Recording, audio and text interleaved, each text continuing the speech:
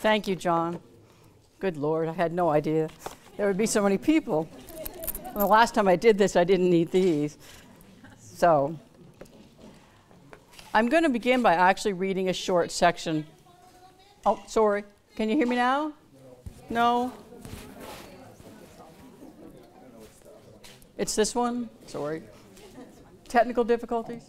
No, just need to get a little closer. A little closer, okay. Not yet? Can you hear me now? Okay, okay. In August of 1882, these two men met. It's not turned on?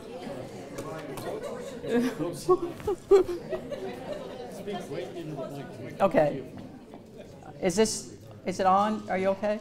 Okay. In August of 1882, these two men met on Smith's Point here in Manchester by the Sea. They were completely different individuals. The man on the left was George Nixon Black Jr. He was Boston's largest taxpayer in 1882. He was a new moneyed man, and he was looking to buy a piece of property. The man on the right was Cyrus Bartol, the Reverend Cyrus Bartol, who was a bit of a Manchester character. People here in Manchester may know who he is. He was a transcendentalist minister um, and thus had dealt with people like Thoreau and Emerson in his career. And he owned lots of land in Manchester that he was looking to sell. You might think that Mr. Black was the more ruthless of the businessmen. You would be wrong. Cyrus Bartol was the more ruthless of the businessmen and the more hard headed of the businessmen here. Mr. Black was always more of a romantic. So, in my book, I'm going to begin by imagining what this particular encounter was like. And in that, you can think about what it was like for Mr. Black to be imagining the house that he hoped to build on that, as yet, unbuilt on site. The site had never been built on, it was just a big, large, open area, beautiful site by the sea. This property has a cave, Nixon asked. Yes, but I wouldn't go scrambling down there in your city clothes, said the old man, seated in the wooden chair in the middle of the grassy meadow overlooking the sea. He then laughed and gave Nixon a wide, squinting smile. A leonine mane of white hair encircled his face and was complemented by a white beard and side whiskers. In his black serge clergyman's clothes, he looked like a nobleman with a ruff in an old Dutch painting. The Reverend Cyrus Bartol was 69 years old this August 1882, and he'd ridden out to Manchester, a newly fashionable coastal town northeast of Boston, to show Nixon a property he had for sale. Charming and eloquent, Reverend Bartol, who lived near the Blacks on Mount Vernon Street in the city, had made quite a prudent investment in real estate in the last 10 years. At about the time of the Great Boston Fire, the popular transcendentalist apparently unable to transcend the value of a dollar, bought up acres of beautiful coastline around this once sleepy town. It was now parceling it out to newcomers, like Nixon, for much more than he'd paid. This bright, hot August day, the Reverend Bartol sat in the kitchen chair he brought with him, enjoying the view, which was unsurpassed. The six acre parcel was a dramatic headland with few trees and plenty of bay, sumac, and juniper, which flourished right to the edge of a jagged cliff riddled with crevasses, tide pools, and reportedly a cave. The open ocean land lay far beyond it, dark water turning turquoise where it met the distant sky. At the far edge of the property, Nixon could see his sister Agnes in her blue and white striped skirt and her parasol, happily picking at some flower growing there. Seventy feet below, the waves struck ceaselessly, a perpetuity that today seemed to him like a miracle. A house built here would dwell in water and wind, and would have a life of its own, like a silent creature known only by the sound of its breathing. Hours it would spend wrapped in nights and fogs, years of days both long and short. A thousand rains would fall on its roofs, dawns would creep through its shutters, ships would pass, ringing their bells, Trees planted here would struggle to grow amid the salt air and the squalls. Sparrows would flit and sing from the roof ridges and foray into nest building near the time of blossoms. In the late summer, in still afternoons, insect music would become until the evening dews washed their songs away. Regattas of white clouds would cluster and scatter. Black walls of thunderheads would bulk up along the horizon. Lightning would brighten midnights, and storms bring devastation. Favorite plants uprooted, shingles torn off and scattered in the far glass. Heat would come and glitter off the windows and the waves and sear the rocks. Gulls and fishing crows would scream and quarrel. The porch would drum with hail and frame the view of stars spilling away from the cliffs, the motionless moon trailing its light path, made unquiet by the sea. In the winter, the house would be a sleeper, shutters latched and furniture drowsing beneath sheets. Snows would pile on the pathways and curl in the drifts around the chimneys. Water would freeze in the eaves. Rust would come and mold. Woodwork would creak and snap in the sunlight and again in the frosts. Spiders would spin their soft white eggs in cornices. Books would fox. Mirrors would begin to shed their silver. The house would wait, not lonely, for the beings who left their gloves curled in the cupboard, and boots in the pantry, and the coat in the closet that never felt right worn anywhere else. Underneath it all, Nixon imagined the cave, cool and dripping, filled with seaweed and shells, feathers, and cast up stones. Holed out on the cliff below, it was like a secret, a small piece of a rescued past, known only to him and savored like a photograph hidden between the pages of a book. In the winter, the cave would be coated in ice. In the summer, the home place of little brown bats who would head out into the gloaming with their snapping wings and squealing voices, wheeling and diving, seeking the bugs that crawled and thrummed against the screens. I accept your offer. I would like the property, Nixon said. The corner of Bartol's mouth twitched slightly, and Nixon watched as the elder man let his eyes run across the horizon dreamily, viewing it perhaps for a final time. You'll be happy here, Bartol said. Nixon did not reply to this unexpected sentiment, and Bartol began to rise from his chair, which Nixon steadied while offering the old minister an arm for support. I know your father, Bartol said, having risen to his full height and resting his hands on the back of the old chair. Your investment will be a sound one, even at my price. The smile was again bestowed, this time with twinkling eyes. After all, the good Lord only created so much shorefront property.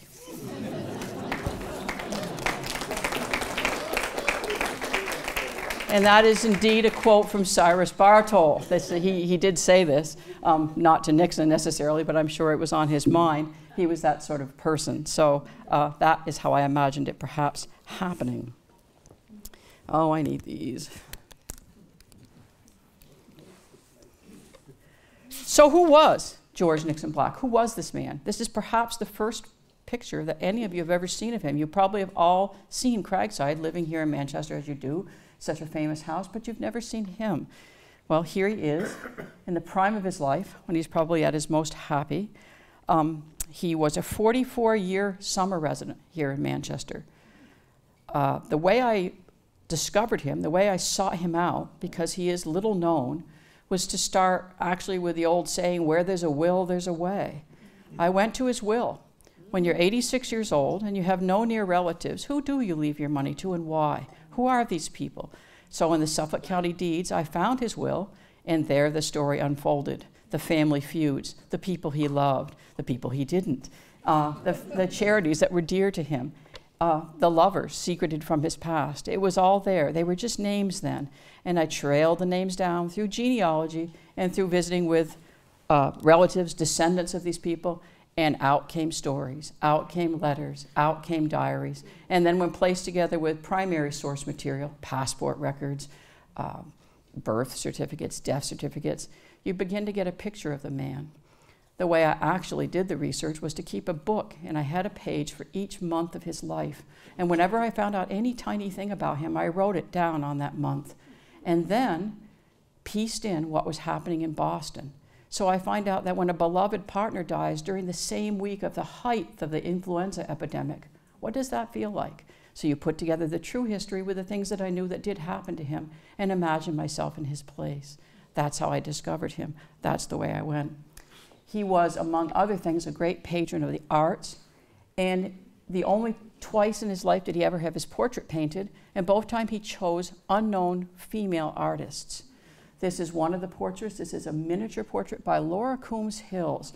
People here may know Laura. She lived in Newburyport.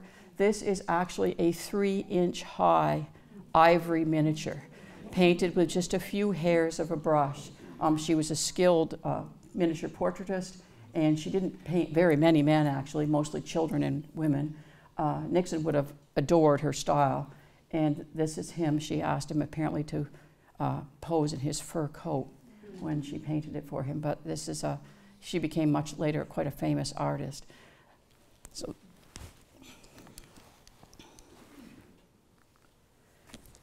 George Nixon Black, and I'll call him Nixon from now on because that's what he was known as. His father was also named George Nixon Black, so to distinguish him from dad, he was always called Nixon. Nixon at about age 14 or 15. Here he is in Ellsworth, Maine, uh, a painting apparently commissioned by his parents. I don't know who the painter was, but this is him. He was born July 11th, 1842. He lived in Ellsworth, Maine. He, he was born there, and he lived there until the age of 17, 16 or 17, with his parents and his two sisters. He was the grandson of one of the richest men in Maine, certainly the richest man in Ellsworth, and one of the richest men in New England. Ellsworth at the time was a, a timber port. It was known mostly for timber harvesting. Uh, his grandfather, John Black, was a great uh, millionaire due to the harvesting of timber. And uh, that's where the family made its initial fortune, although the, the vast majority of the family money came later. But that was where the pump was primed, so to speak, for the family. He was certainly born into great privilege. Indeed, he was actually born with a silver spoon in his mouth because there is a receipt at the Woodlawn Mansion from the grandfather buying a silver spoon to be engraved with Nixon for his grandson. So it is literally true that he was born with a silver spoon the man who bought the silver spoon, John Black. This is the grandfather. John Black came from England. He immigrated in the late 1700s.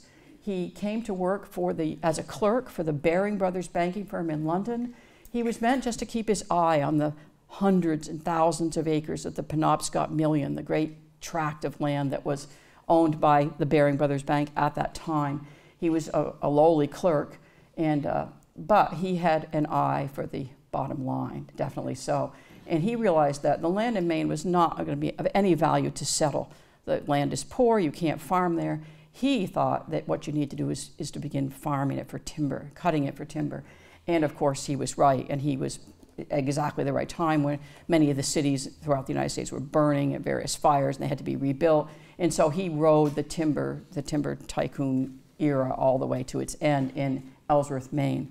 And uh, that's his basic story. He was a very shrewd, very hardworking man.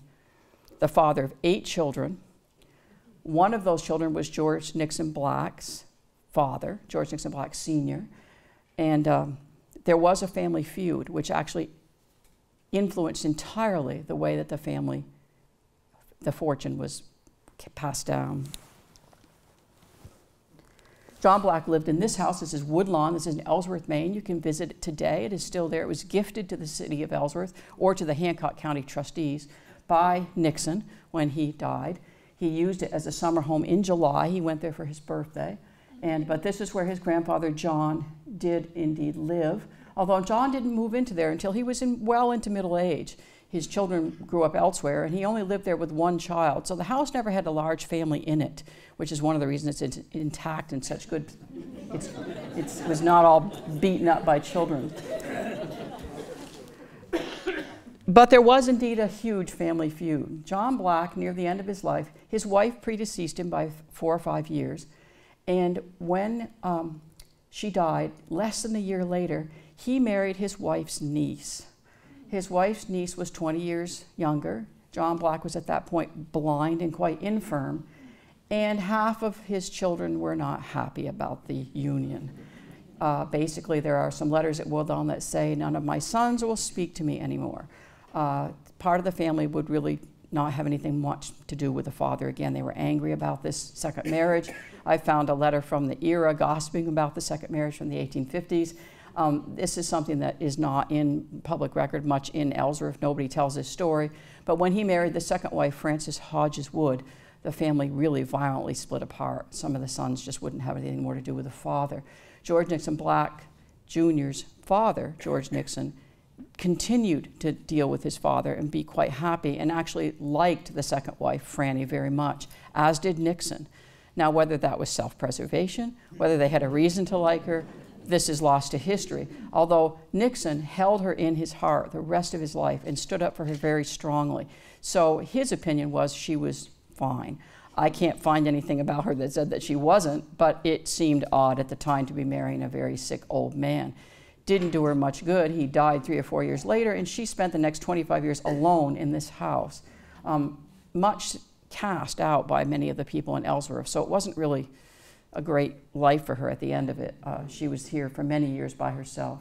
But again, one of the reasons the house remained in such good shape. She was there for years alone. The house was willed to her in life tenancy, but it was actually willed to George Nixon Black Sr. So that is why, out of eight children, this house goes down just to one. Ellsworth was a pretty rough town in the 1850s. It was a frontier. It was on the edge of the, of the uh, forest of Maine, a vast, untamed forest. It really was a frontier town. It was a boom town in lumber, and there was a lot of tensions over various kinds of things. It was growing a little more than it could handle. One of the big things that happened in Maine in the 1850s was Maine was a hotbed of the Know Nothing movement. Uh, the Know Nothing movement was basically an anti immigrant movement, could be akin to some of the things we hear today. It was people being afraid of immigrants, people being afraid, particularly of the Irish, coming into Maine, and there was a lot of violence about them. John Black, the great patriarch, was through his banking connections in London, often sent money back to uh, for Irish people that worked for him back to the families in Ireland, and so he was a target. He had some of his uh, oxen killed there was violence. There were arsons. There was all kind of problems uh, locally amongst that. The man who bore the brunt of this historically in, in Maine was this man. His name was John Bapst. He was a Catholic priest. He came to Maine from Switzerland. He was a Jesuit priest. He came to preach to the Penobscot Indians and the Irish Catholics and the French Canadians that were in the area. And he wanted to start a Catholic school in Ellsworth, which he did. This caused some problem, particularly when a lot of young Ellsworth women who were non Catholics decided they kind of were interested in the Catholic Church and began to go to services there. This was not appreciated. And then uh, John Bapst also caused a local fight by wanting the Catholic Bible to be read in the schools in Ellsworth. Uh, the town school board ended up taking him to court over this. There was a large lawsuit, which incidentally, the lawyer who stood for the town against John Bapst was Richard Henry Dana Jr., another one of your Manchester people, the two years before the masked man. So he actually came to Ellsworth and fought against John Bapst. Well, John Bapst, his unfortunate life, uh, what happened to him is he was incredibly, in the 1850s, tarred and feathered in Ellsworth in a vicious tarring and feathering by more than 100 to 150 citizens of Ellsworth got together and just said, We're going to tar and feather you. They threatened it in the newspaper. They actually wrote it in print a year, about a few months before they did it. And then when he showed up in town again, they actually grabbed him and did it. This happened when George Nixon Black Jr., when Nixon was only 14 or 15. It happened about 150 feet from his house. So I'm sure he knew all about it, and much of his later life makes me think he did know more about it than people realize. So this is part of the environment in which the blacks, which this young man is growing up in, you know, he's very wealthy, but it's a very rough town. And um, after that happened, the family decided that they might ought to move to Boston. The children were getting old enough; they need to be going to better schools, and they were able to see in Ellsworth. And Nixon was ready to go into college, or, and so they, they moved away shortly after that happened, the Bapst incident. John Bapst incidentally recovered from his wounds, and he went on to become the first president of Boston College.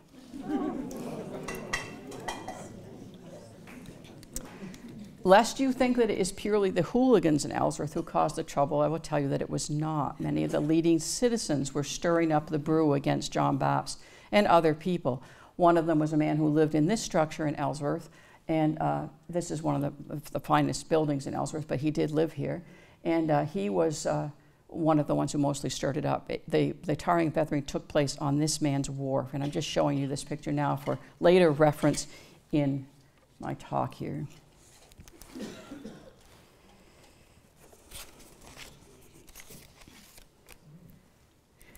It's probably good for me to note that uh, because the actual incident with John Bapst took place because of a book. You want to remember that later in the lecture as to what actually ended up with that property in Ellsworth. This is Nixon's father. As near as I can see, all he did was slave and work all his life. He was an incredibly hard worker. I think he felt um, responsible for his brothers not liking him anymore and him siding with the father. He felt that he needed to always deserve what he had earned. And as near as I can see, he worked himself near to death. He just worked all the time. He never took vacations or trips. Um, he was a fair and even man, I think. He was a good businessman.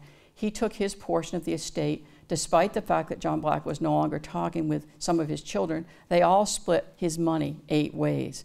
There was not tons and tons of money. They were quite wealthy, but eight ways, it was not a lot. Um, George Nixon Black Sr. took his eighth, moved to Boston, and began to invest in Boston commercial real estate before the Civil War. This is where the money really came from. The blacks owned great swaths of real estate in by the 1860s and 1870s in Boston. Huge, all commercial properties in, in Boston. George Nixon Black Sr. reluctantly left Ellsworth, actually. He didn't really, he had a hard time moving away from Maine. That was hard for him, but he did come to Boston, and I think he was never quite perfectly happy once he had left, but he felt he needed to. When the family first moved to Boston, they stayed for a short while in Pemberton Square, which some of you will know where was. It's not there anymore. It's under the um, one of the court buildings now. And then to 81 Mount Vernon Street. This is where they lived initially from 18 uh, from uh, 1860 to 1882. This was the house, still there. This is an 18-year-old man. It's amazing that uh, this is George Nixon Black, four years after that fresh faced young portrait of him earlier. Uh, what happens to somebody in four years in their adolescence? He, no one can believe this is someone who's 18 years old, but it is. And what was basically happening was poor Nixon, who was schooled in Ellsworth without a bit of Latin or Greek, was pushed into Harvard and expected to keep up. Uh, that was not going to happen. Nixon just couldn't memorize, he couldn't recite, which was what the curriculum was at the time. He had a terrible memory, as near as I can understand. And at this point in his life, this is his Harvard yearbook picture. He was failing at Harvard. He was also entirely taken up with the fact that this is 1860 and the Civil War is brewing. He doesn't know where he's going at this point in his life. He's confused, he's failing, he's a failure to his father and he looks every bit of what he felt, I think, at the time. Uh, he, the only little fib I ever found in my research was he actually left a note saying that he left Harvard because of eye trouble. If you look at the history of the 19th century, every man had eye trouble. It's clearly they didn't. It was just a euphemism for every other kind of adolescent problem. But he had eye trouble he didn't really have eye trouble. He was the only student who failed his freshman year. He was the only student who was asked to repeat his freshman year, and he never went back. He was probably too embarrassed. His father withdrew him from Harvard, and he never continued. He never went back to school again. He was also, at this time in his life, deeply in love. The object of his affection was this young man poor Nixon was also gay, on top of every other problem he had going on with him at the time, in a period in which nothing about that was known. There was no template for behaving that way. He didn't know. He was deeply in love with this young man. It's probably time to talk now about the Nixon, the black family status. The blacks were incredibly wealthy. The family was much more wealthy than this man, who was Francis Welch Crowninshield. However, he was the height of blue blood society in Boston and Nixon's were the Silas Laphams of Boston, the, the, the, people who had come from outside. And they were completely different classes, even though the money was much stronger on the Nixon side. These two men went to college together. They met at Harvard.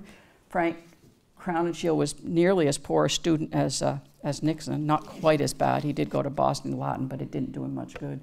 And um, he had further problems. He himself probably didn't reciprocate Nixon's love. He had other problems. He was dying of tuberculosis. It was a disease which was hidden from everyone. It was hidden within the families. It was considered a family taint, a trait that was passed on and on. And he thought that he could actually save his life if he joined the army, joined the Civil War. Because in his mind, you go out, it's like two years before the mast, you go out in the, in the strong air, you work physically, and you will get your lungs back if you don't get shot first. But anyway, that's what he believed, and he did indeed join the, um, the Army. He was on the 2nd Massachusetts. For a while, he was in the same group with Robert Gould Shaw, who people know about. They were friends. And uh, he was the son of Edward Crowninshield and Carolyn Welch. But by the time he joined, he was already well onto the road of tuberculosis. This is his mother, Carolyn Crowninshield. She's from the Salem, uh, his father was from the Salem Crowninshield family, of course. Carolyn was a Welch. She became a great friend of Nixon and a mentor to him. She was one of the great female friends of his life. Nixon actually did um, join, and, and he, he signed up for the draft. I, I investigated that. I assumed he bought his way out. He did not. He signed up for the draft both in, uh, in Maine and in Massachusetts because he was living kind of in both places at the time. They would go back for the summer. As near as I can figure out, he was never called up because they didn't know where he lived. Um, he didn't buy his way out of it. He signed up for it. And I can't imagine that he wouldn't have died to go off with him. But his father, I think, didn't want him to. He was responsible for his mother and his sisters. The women in the family could never transact real estate business. It wouldn't have been considered proper. And so he probably felt that he was the only male in the family. Carolyn Crowninshield had three sons. And um, so, you know, they could spare one if they anything happened to them. This is Carolyn mourning her husband Edward, who had died recently of tuberculosis. So he probably passed his disease on to his sons unwittingly. They didn't know at the time. But she became a great friend of Nixon. She was a great friend of Isabella Stewart Gardner. They visited all the time, so I know that Nixon and Isabella Stewart Gardner and Carolyn Crowninshield were visited and friends with one another. Um, she was an interesting woman. She didn't have a husband and, and, did a lot of things that a man had to do at the time. She wrote kind of wonderful letters to Harvard, um, and she was she was a very interesting. Deserves a book of her own. Uh, but Nixon just loved her. He was he spent the entire war in her parlor talking about Frank. That's what they did. Um, it's it's it's incredible, but um, that's what they did. And uh, she. She had wonderful letters from him. And the way I found out about Frank Crowninshield was that he, he has a namesake in his family. Francis Welch Crowninshield of Vanity Fair magazine was named after him. Um, her son, one of her sons, was Vanity Fair Frank's father. And he named his sons after his brother Edward and his brother Frank. And so uh, Nixon left Vanity Fair Frank $25,000 in 1928. And Vanity Frank didn't understand why. He didn't really know who he was. But I know that he just left it to him because he had the right name. so I began to investigate which Frank Crowninshield would have been the Frank Crowninshield that, uh, that knew him, who was around in 1860. And it led me to a fabulous cache of letters at the Peabody Essex Museum. Please go and read them if you're all interested. Young Frank Crowninshield's letters to his mother, to his brother, all mentioning Nixon, all talking about his family, are there to be read. They are fabulous Civil War letters. They are wonderful. And he writes back about everything that happened to him, all kinds of events. He set himself on fire three or four times. It's just full of adventure and craziness and um, wonderful Civil War stories. Um, there's actually a story of him setting one of George Nixon Black's nightshirts on fire. Um, I wrote that into my book because that's interesting. And also, there's a kind of a wonderful story where he's finished Sherman's march, despite the fact that he was wounded four times. He was shot four times. He was shot always in the leg and then once in the arm, wounded at Gettysburg, Antietam, Winchester, and by a sniper at Raccoon Creek in Georgia. He still got back, TB and all, and went back into the army. It was so important to him to make it through because that was what he wanted to do was to get well. He did make it through, and he wrote his mother a letter at the end of Sherman's march saying, I've hoofed it all the way across the state of Georgia. I've done it. My leg is okay. And I don't know when this war ends how I will ever be able to lay down my sword. I don't think I'll be able to do it. But lay it down, he did. And he went afterwards the war, he survived the war, and then he went to Italy with Nixon, and they traveled the grand tour together, and he died in Albano of tuberculosis outside of Rome during carnival season and was eventually brought back. Here he's at Mount Auburn Cemetery. If you can't read the French, it says, without fear and without reproach. Less than a year later, his other brother died of TB, leaving poor Carolyn with no husband and two dead sons, and only one son still alive, who became the father of Vanity Fair Frank Crowninshield.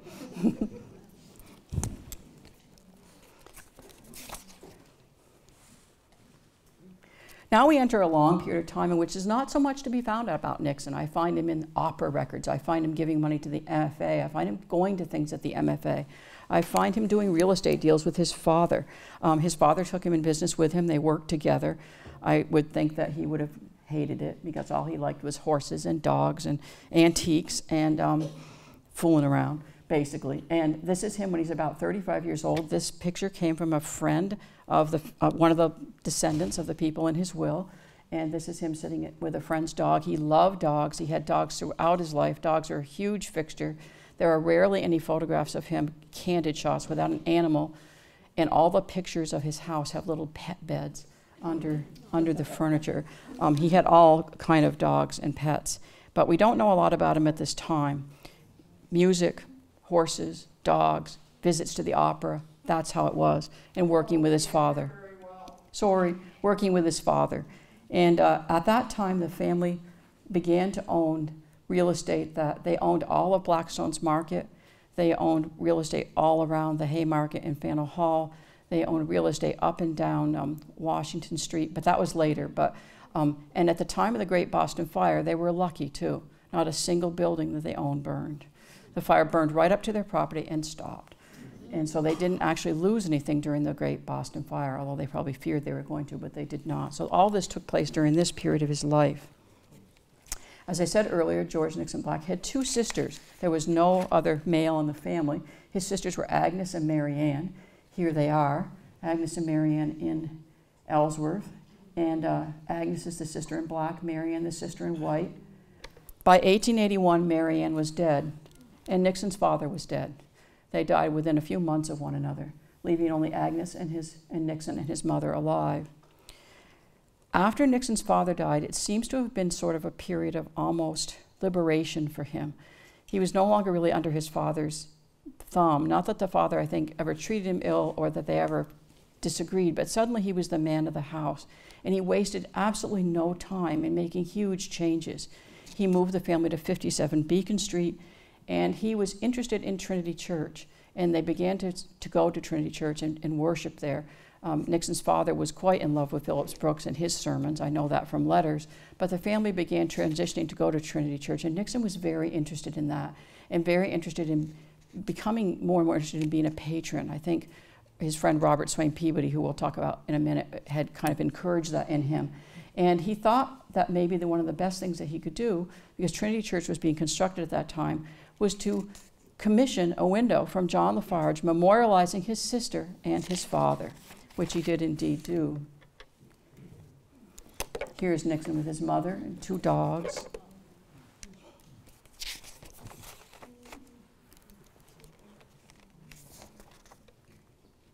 This is 57 Beacon Street, the house that he purchased and moved into.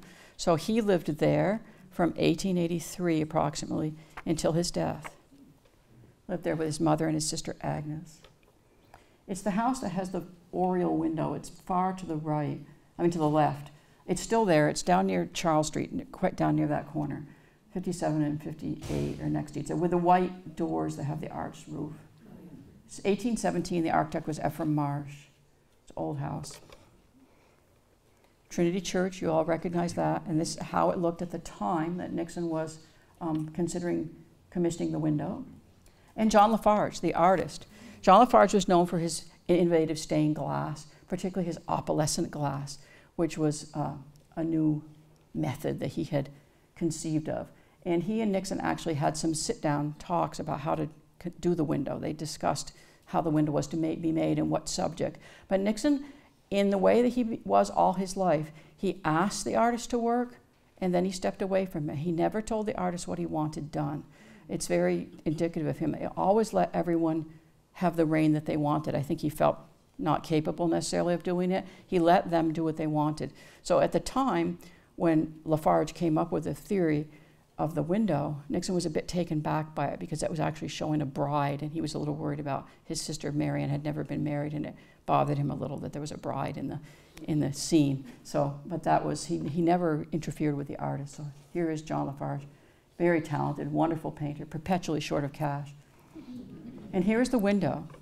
The New Jerusalem, it's called. It's on the Boylston Street side. If you walk there late in the afternoon, you'll get the best view. It is considered one of La Farge's masterpieces.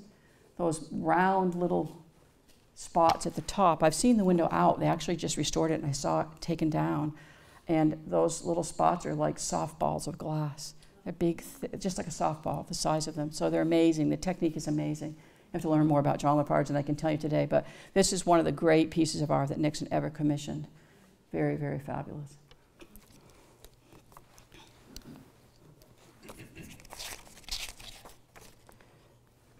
Robert Swain Peabody, another great pe- person in Nixon's life and another great friend of Nixon. He was the architect of Kragsyde. Here you see the architect of the house that you all know so well. He loved to sail. He knew everyone in Boston. Whoever he didn't know in Boston were the people he were already related to. I mean, he just knew everyone, and he was a great, um, a great mover and shaker of his firm because he just knew everyone to, to get jobs from. He always was sailing. He loved boats and sailing. He lived at Peaches Point, um, up in Marblehead eventually, but not at this time. But here he is with one of his sailboats. Uh, one of his granddaughters gave me this picture of him when they, they came to visit me. And uh, he, people say that he and Nixon went to college together. They didn't. Nixon had already failed, flunked by the time uh, Peabody was in college, but they knew each other because Peabody, of course, was Frank Crowninshield's cousin.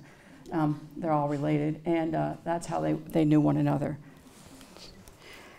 Peabody uh, studied at Harvard with great honors. He was on the rowing team. He's actually credited with um, uh, somewhat calling the, uh, the team the Crimson Tide because he was one of the, of the people on the rowing team who tied crimson bands around their head so they could be identified. And there's a story that his wife was cheering him on, and other people saying Crimson Tide, the Crimson Tide, meaning they tied, tied with a bow, not T I, tied with a bow. So that's a story. I don't know if that's true or not, but um, I've read that. And he went off to Paris, studied for a while in England, worked at the, uh, went to the École des Beaux-Arts, and came back. And there was no doubt he was just a super talented man that he was going to be able to follow his dreams. He became one of the most, you know, known architects in Boston. He built hundreds of buildings, hundreds of churches, hundreds of school buildings, built buildings at Harvard. But Kragsyde remains his masterpiece. There's absolutely no doubt in anyone's mind that Kragsyde is the best house he ever built, the best piece of architecture he ever built. Um, and it was done for his friend, George Nixon Black. He also was responsible for bringing in Frederick Law Olmsted into the team, something that Black was very impressed with. He was impressed that his friend knew somebody so fabulous and famous as Olmsted.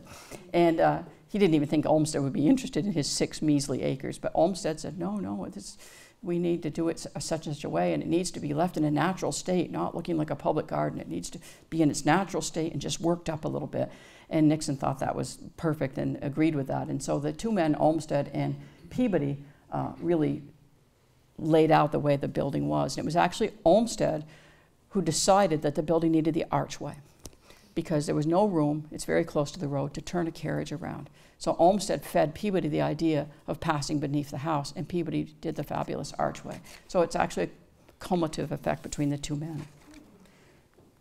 Peabody was a fabulous draftsman. Here are his designs for the front of the house, facing the road, and the back of the house facing the ocean. The house was built in a chevron shape, so it bent slightly in the middle. It's only one room wide. It's 4,200 square feet. It is nowhere near as big as people think it is. It looks massive in the pictures. 4,200.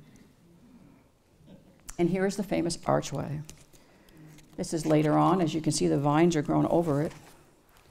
This is probably the 1890s. This picture actually came from Olmsted's archives.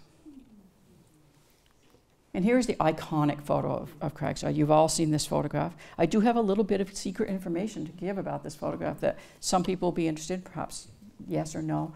Um, at the time this photograph was taken, it was taken by George Soule Photographic Company. George Soule had sold the company, didn't want any really more to do with it. In the year this photograph was taken, three of the photographers that worked for him owned the company and were doing all the work for it. The most famous of the photographers and the one who was the best photographer was a man named Eric Ellis Soderholtz. Soderholtz was a well known architectural photographer of the day. He became a potter and began making cement urns for people like Beatrix Farrand and garden urns and moved to Maine in his retirement. So people will know him in his urns in Maine. So Eric Ellis Soderholtz may have oddly taken the picture here of Kragsyde. I think it likely that he did. And later on, Nixon bought many of those urns and pots for the house at Woodlawn. So they may have known each other from way back when this picture was taken. Just a little Maine side note, people would know who he is. The house was published many times, both in Europe and in the United States. This is from the American Architect and Building News. Fabulous drawings by a man named E. Eldon Deane, otherwise known as the Mad Delineator, because he did just a quantity of work. Um, it's fabulous work, and this is one of the most famous drawings of Kragsyde. This is a magazine spread. And the lesser known road view of Kragsyde, you very rarely see this picture. In fact, it was sent to me just a few months ago by someone, and I don't know where it came from or anything about it. But um, I never have seen it. I sure wish I had this picture when I was building it. It would have been lovely to be able to see this side of it. Here's the only interior shot of the house. Lots of William Morris action going on there. this was the room above the archway. At the same time that Kragsyde was being built, Nixon met the love of his life. This is Charles Brooks Pitman. Charles Pitman was 18 years younger than Black. He was born on September 21st, 1860, the very day that Black was entering Harvard. So there's the difference in their ages. Pitman was born in the Sandwich Islands in Hawaii. His father was a um, trader and a merchant who lived in Hawaii and who had been married three different times uh, to women who died. It was not, he was not a wild man or anything. And Charles descended from the last wife of that family. Uh, so Charles, interestingly, had many half Hawaiian siblings because his, his father married first a Hawaiian feudal princess, which is a good way to get a lot of land in Hawaii. And he owned sugarcane plantations and all sorts of other arrowroot plantations, lots of money. Um, he was as wealthy as Black, nearly so, um, the, the, the, father. And Charles was a millionaire himself. Sometimes people have said that he was a secretary to Mr. Black, some of the servants, but he wasn't a secretary. He was well paid if he was, because he was worth millions when he died. But he was, um, he was from that family. He was interested in photography. He took many of the photographs of Kragsyde. He belonged to a camera club. There's more information about what he did. He was interested in art and antiques, a little more than Nixon was, and I think he helped Nixon become more interested in antiques and he was from the era when colonial revival was popular amongst people of his own age because he was younger than Nixon. So in this picture, he's 24 years old. Nixon is 42 years old. And Charles was better educated than Nixon. He had been to Stuttgart University and traveled there. He spoke and read German. He was there when his father uh, had taken one of his siblings who was ill to a spa in Germany in the 1870s. And he was enrolled at Stuttgart. I went there and tried to find his records. I found, I didn't find his grades, but I found his enrollment records and other records. His grades were bombed by us during the war, so they were not there to be had. But and then he later became, went to MIT, and he was at MIT when he met Nixon. He worked for the surveyor that surveyed the Kragsyde property. This is how I guess they met one another, but I don't know that exactly. But he, he did probably survey the property that Kragsyde was built on. So that's perhaps how they met one another. After they did met, meet one another, Charles thought it was no longer necessary to finish MIT, and he never did. So he didn't graduate. There's also very few pictures of him. He's hard to find. He had a brother named Harold. There were just the two boys. And then he had siblings who were much older than him who were part Hawaiian. Here's Benjamin Pitman, his father. If you're interested in seeing him in real, you can see him at the Peabody Essex Museum with his wife, who was uh, Lila Kinahole, who was a Hawaiian feudal princess, a descendant of King Kamehameha, and considered Hawaiian royalty. So some of his children were considered Hawaiian royalty. They're buried in Mount Auburn with a Hawaiian royal shield on their graves because they are considered Hawaiian royalty. So he had. He also had one son who went to the, fought in the Civil War. And I was pleased to be able to give that information to a Civil War society in Hawaii who was very interested in their handful of Hawaiian Civil War soldiers. Because why would you be in the Civil War if you were Hawaiian? But his, and this son did die in the Civil War of disease, one of Charles's half brothers. As I said, I think Charles brought antiques into Nixon's life. He, he, he I think, convinced Nixon how valuable the Woodlawn house was, how fabulous the antiques in it were. I, don't, I think he just considered his grandfather's house, as any of us might have done.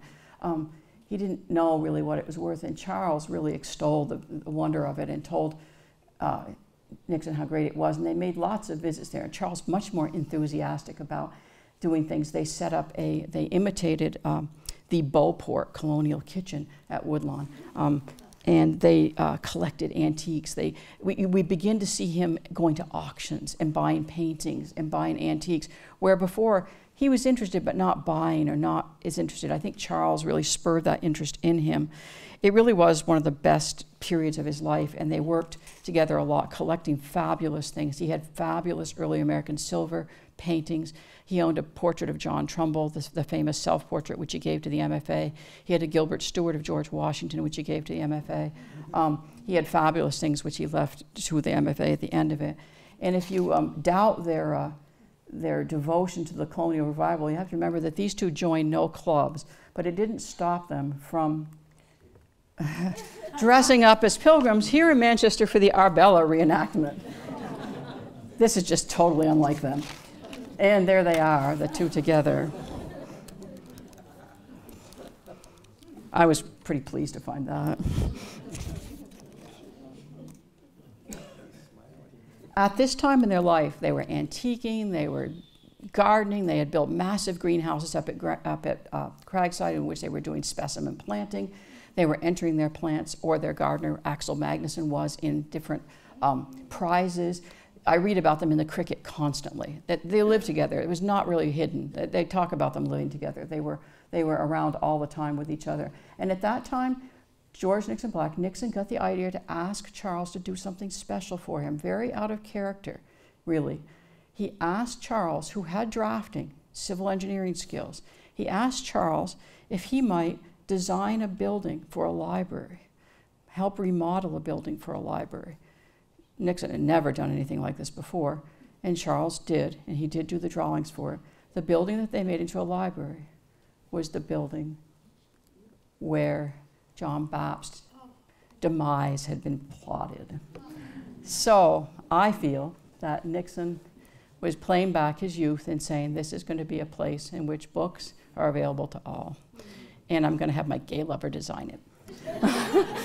and that he did. And um, the plans for this, this, this, remodel, they remodeled this building into a library. Charles drew them. The plans exist with his name drawn on the bottom. They're his work. Um, nobody talks about this in Ellsworth, Maine, but it is, you've heard it first here tonight. He did, um, he did do those drawings, and it was remodeled into a library and gifted to the town uh, of Ellsworth. And just gifted as a deed. There was never an opening ceremony. He just conveyed it as a deed, and he never showed up for any kind of big thing or any of that. But he gifted it over to them. And it still is the library in Ellsworth today.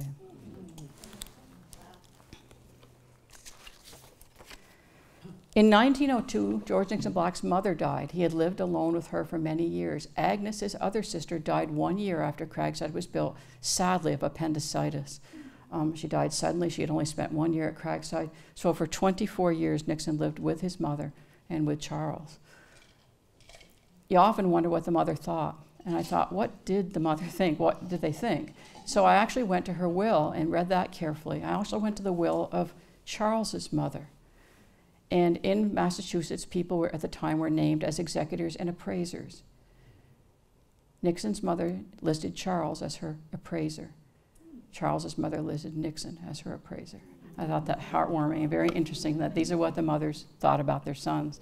Um, you don't put people in positions like that in your will unless you're confident that they're going to handle it well.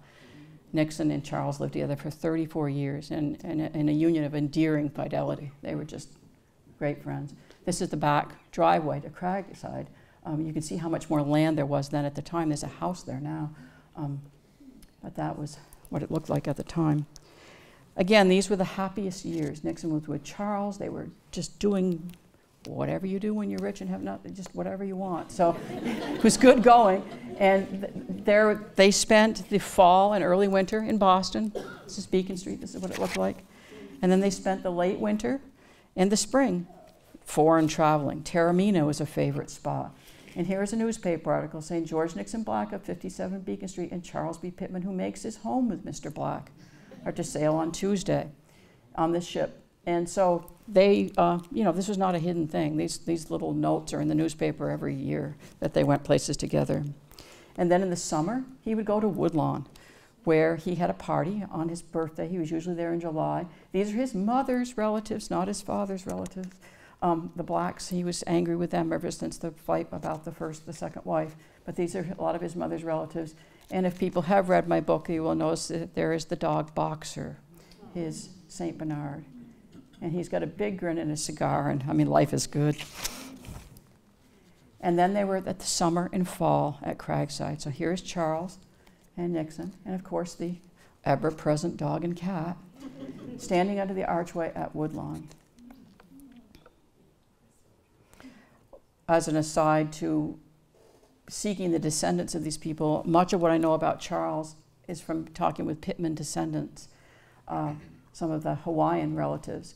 And one of them came to visit me, and for the fun of it, we replicated this picture I standing where Nixon was, and he standing where his great uncle Charles was, and my little dog at the time. These were the good years. This is when Nixon was at his prime, 1902 to 1918. Here's Charles. By 1918, things changed. The war was raging, Great War, the First World War, and the influenza epidemic was raging, and Charles was sick. He had developed nephritis. He was sick for about a year before he died, and he died during the height of the influenza epidemic of nephritis. He would have, of a disease, as near as I can figure out from reading, there are some doctor records, that he would have had to have dialysis today to have even lived. And uh, he was only 58 years old. After that, life gets a little, little sadder for Nixon. He's really, the, the light goes out with Charles gone. He lived for another 10 years beyond him, and he finally died in October 29th, 1928, of arterial sclerosis. He had a heart attack at his home in Beacon Hill. He did not die at Woodlawn. He did not die at Kragsyde. His mother did, and Charles did actually too. Charles died here up at Kragsyde. They took him away from the city. If they thought he'd be safer up here, away from the influenza. So here he is in the other portrait that's painted by a woman, an unknown German artist named Charlotte Schetter, who I've sought out. I've got all her relatives, but I can't see any more of her paintings. I know every cousin she ever knew, but I don't know her paintings at all. I can't find many of them. She was a very competent painter. She lived to be 98 years old, but where are her paintings? But this was one of them. He left Charlotte $25,000 in his will. He thought a lot of her. She actually copied some, some of his famous um, colonial portraits for him. She did copy work too. So she copied the Gilbert Stuart so a fake one could hang at Woodlawn where it would be safe, and the real one went to the MFA. Less than a year after Nixon died, Kragsyde was torn down. It was given to Harold, Charles's brother. Harold lived in Cohasset and went coot shooting. He liked hunting. He didn't want to be on the North Shore. He wanted to be on the South Shore where he could coot shoot. And uh, so he sold the property to some people named Stackpole, who, interesting, were close relatives of Carolyn Crowninshield. But anyway, he sold it to them, and it was out of style, old, probably needed repair. And they tore the house down and built the house there called La Tourelle, which is, goes on. And then La Tourelle was torn down by them themselves. By the 1940s, they could no longer afford the house and tore their own home down. And then it sat until George Doriot bought it. And that's the story you know that some of these people here today. But that was story with Nixon. Characteristically, he's buried under a gravestone about as big as a bread box at Mount Auburn. There is no vast mausoleum. His name is carved nowhere in marble that I can find anywhere in Boston other than at the MFA on the wall with all the other donors, at the Nevins farm where he left lots of money for the horses, and here on this small little gravestone. Uh, there is a white pine tree over the gravestone, which I think is fabulous because it was the white pine that gave the family their original wealth. Although the pine was just arbitrary, he didn't ask for it to be planted there. Check the Mount Auburn records for that too. So, so really, what I want to say is I want to introduce you, Massachusetts, to one of your heroes. You don't know a thing about him, you never knew a thing about him, but the list of the things that he did, the life that he lived, when he died, his will Mass General, Trinity Church, Perkins Institute, the Colonial Society, Mass Ioneer, Children's Charities, the Nevins Farm, MSPCA, Fenway Studios, Woodlawn, the Ellsworth Library, numerous artists, and the things, the objects that he gave the MFA, as well as a large trust, which is one of the bigger bequests that they had ever received at the time, to do whatever they wanted with, with no restrictions whatsoever. The trust still operates today and is still buying objects and programs for the museum. So here he is. He's a really lovely man.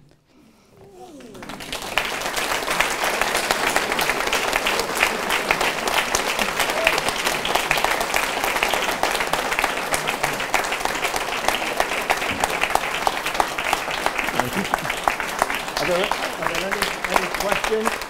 We have time for about two or three questions from the floor, if anybody would like to ask Jane something. Can you just do a quick about your house up in Maine. I knew it. Okay, the next four slides. The next four slides. I figured this was the question. And I don't want to put myself in this, but yes, I, I came to Manchester as a 19 year old woman. I walked into the Historical Society expecting that someone would direct me to the driveway of Kragsyde where I could sneak in and take a look.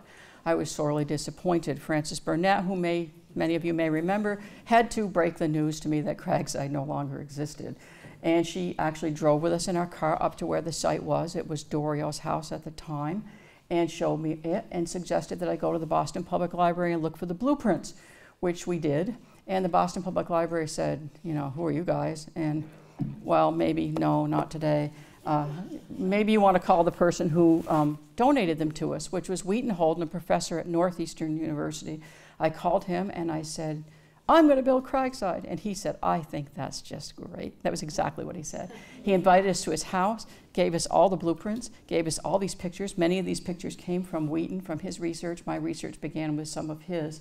And I have to say that the story kind of comes full circle, and that when I came back, again, one of the first places I went to look for research was the Manchester Historical Society. Again, when I was researching George, I found a letter from Frances Burnett that said, I well remember that young couple coming here, and I thought to myself, how could they ever imagine building such a mansion? They had a rattletrap old car, but they have done it, and more power to them. And it kind of made me feel bad, feel strange. But anyway, yes, we did do it.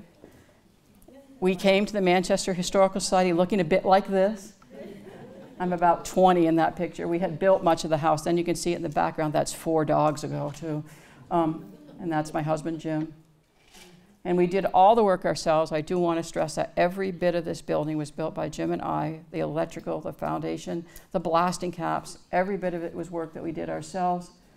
From the footings, there I am with the same dog, doing the concrete on the footings, much younger and thinner.